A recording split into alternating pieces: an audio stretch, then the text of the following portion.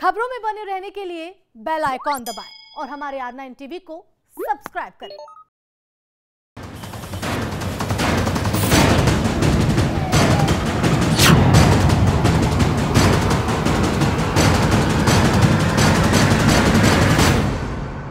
चलिए, अब ताज़ा सिचुएशन क्या है? क्या कुछ चल रहा है यूपी में? ये जानेंगे न्यूज़ रूम में मेरे सहयोगी जब्बार खान, वहाँ मौजूद हैं।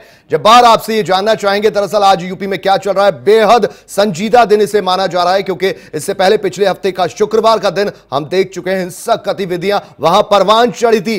ये बताइए कि इंटरनेट कौन कौन से जिलों में बंद है? सुरक्षा व्यवस्था के क्या इंतज़ाम है? Over to you Jabbar.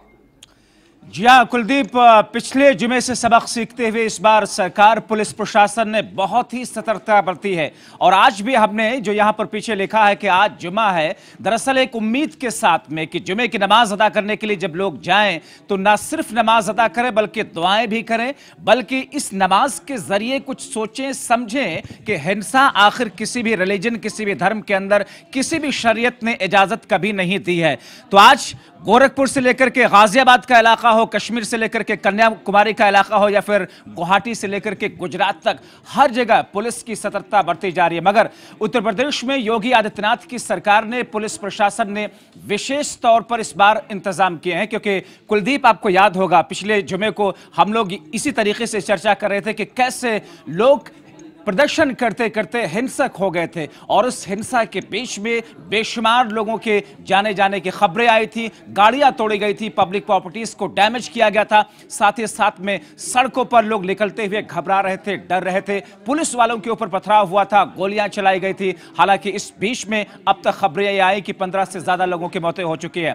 मगर उन्हीं तमाम चीज़ों को कुलदीप ध्यान में रख करके उन्हीं तमाम चीज़ों के मद्देनजर आज के दिन फ़िलहाल सुबह से अगर देखा जाए, शांति बनी हुई है। ये बहुत अच्छी बात है और इस बात की हम सब पूरे देशवासी उम्मीद भी कर रहे थे। हमने आज इसीलिए आर नाइन टीवी ने अलग विशेष तौर पर इंतज़ाम किए हैं। उत्तर प्रदेश के अलग अलग इलाकों को कुलदीप हमने जोन में बांटा है और उसमें हमारे सहयोगी कल रात से ही लगातार निगाह बनाए हुए हैं। हमारे साथ में थोड़ी ही देर में नीरज मिश्रा जुड़ेंगे, अभिषेक पांडे जुड़ेंगे और चाँद बेबी भी जुड़ेंगे। बताएँगे कि आज इस वक्त क्या कुछ तस्वीरें हैं। मगर हम आपको ले चलते हैं, दर्शकों को दिखाते हैं उत्तर प्रदेश का बांदा इलाका। बांदा इलाके में इस वक्त स्थिति क्या है? हमारी सहयोगी इस वक्त चाँद हमारे साथ में जुड़ रही है। सबसे पहले मैं ये कैमरा पर्सन से चाहूँगा रागिब से, कि जरा इन तस्वीरों को दिखाएँ, क्योंकि ये पुलिस का फ्लैग मार्च जो कि इस वक्त दिख रहा है। देखिए, टीवी स्क्रीन पर ये पुलिस का फ्लैग मार्च है। शांति बनी रहे, अमन सुकून बना रहे। बेहतर तौर पर लोग जुमे की नमाज़ अदा करके अपने अपने घरों को वापस जाएँ, और अगर किसी को विरोध प्रदर्शन करना भी है तो सिर्फ़ और सिर्फ़ शांति आज दिखे। तो ये ड्रोन कैमरे ड्रोन कैमरों के ज़रिए से भी आज पुलिस प्रशासन ने पूरे तौर पर सतर्कता बरती हुई है। मगर ये बांदा का इलाका है, बांदा के इलाके में इस वक्त स्थिति क्या है, सिचुएशन क्या है, इसको भी हम समझेंगे अपने सहयोगी से, क्योंकि पिछली बार यहाँ पर हिंसक झड़पें भी हुई थी।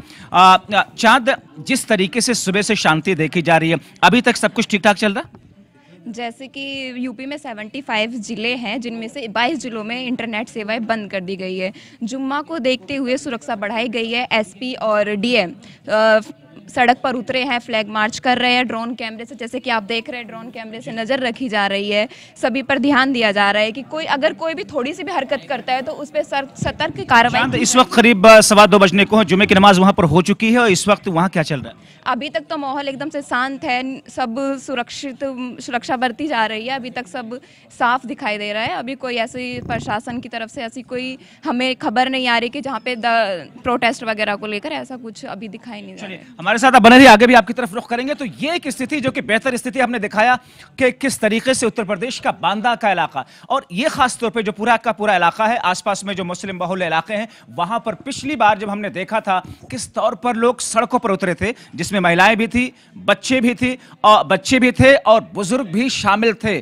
पुलिस के लिए एक बड़ा चैलेंजिंग सा सिचुएशन थी, स्थिति ऐसी थी जिसमें हिंसक झड़पें हुई थी। मगर इन तमाम चीज़ों के बीच में प्रशासन ने पुलिस ने, सरकार ने जो तैयारियाँ की हैं कुलदीप, वो बहुत ज़्यादा बेहतर पिछली बार के मुकाबले इस बार देखने को मिल रही है। और यही वजह है कि एक प्रिकॉशनरी स्टेप लेते हुए सरकार ने 20 जिलों के अंदर 20 इलाकों के अंदर इंटरनेट की सेवा बंद कर दी है। Over to Kuldeep.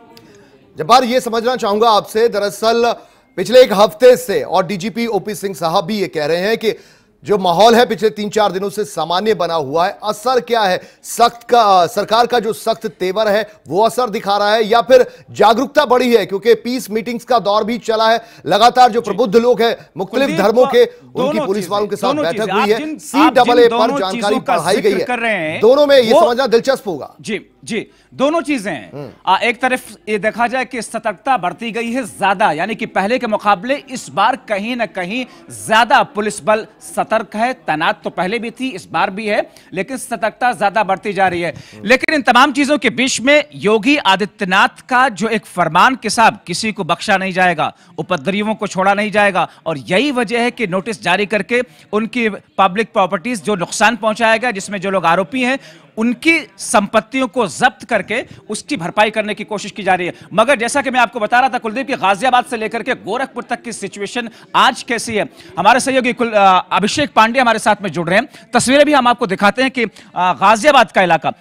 आ, सबसे पहले चाहेंगे ये विजुअल्स ये तस्वीरों पर आप निगाह डालें किस तौर पर यहाँ पर पुलिस जैसा कि खड़ी हुई है।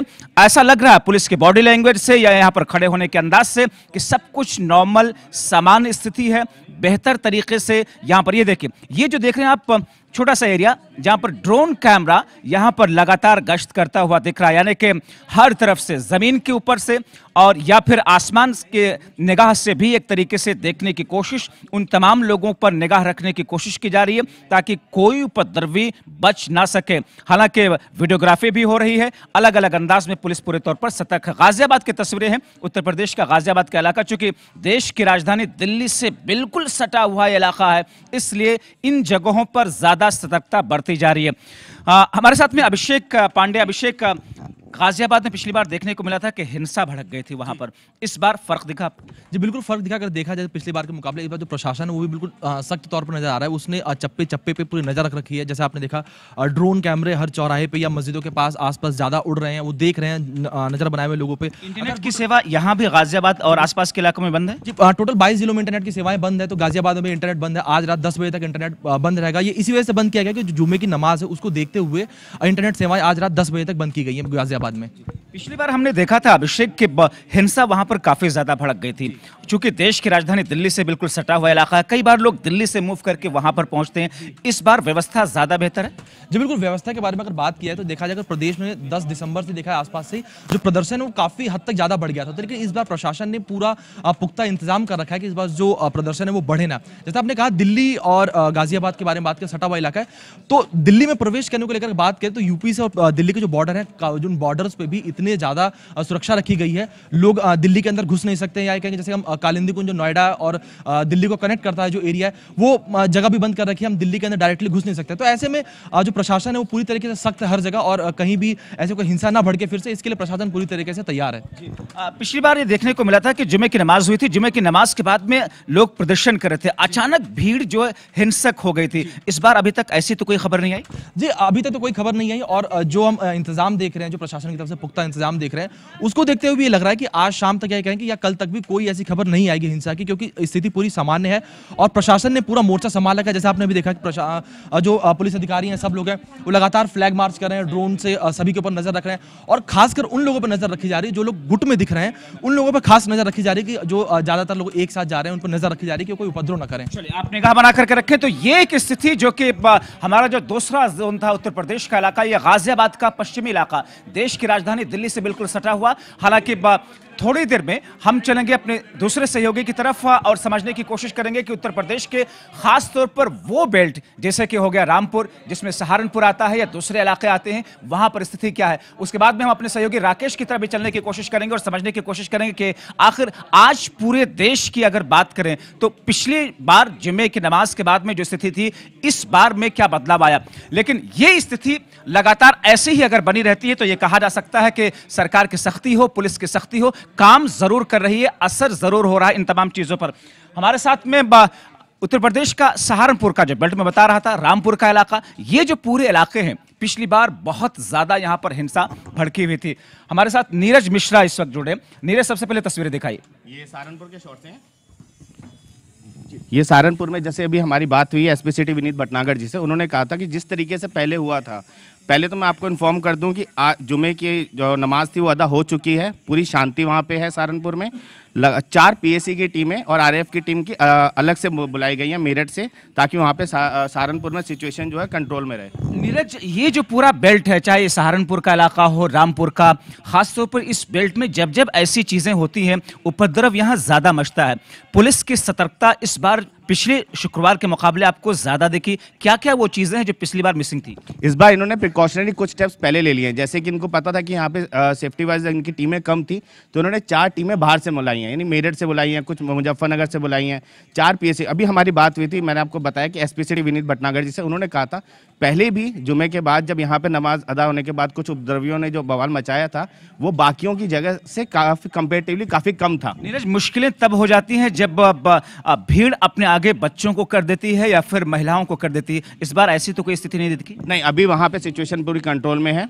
पूरी सिचुएशन कंट्रोल में है। जो आप बत, बात बता रहे हैं ये बिल्कुल सही है। लगातार हमने कई जगह हमने देखा कि बच्चों को आगे कर दिया गया था महिलाओं को आगे कर दिया गया था। यहाँ भी आप देखिए तो सोलह सौ लोगों पर एफ़ दर्ज हुई थी।